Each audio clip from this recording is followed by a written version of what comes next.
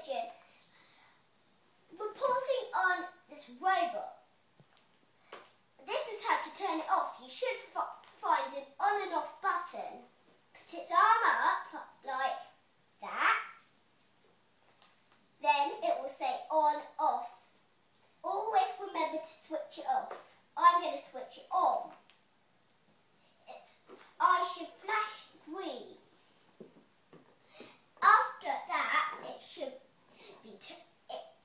be stop, stop flashing. If not, it's probably broken.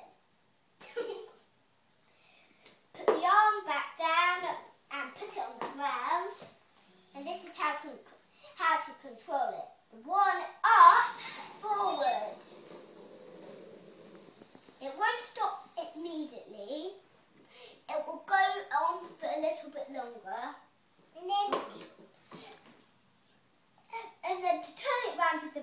one. So it should be highest, forward when it's forward.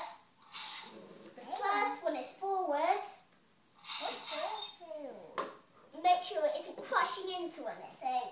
And turning it, turning it around.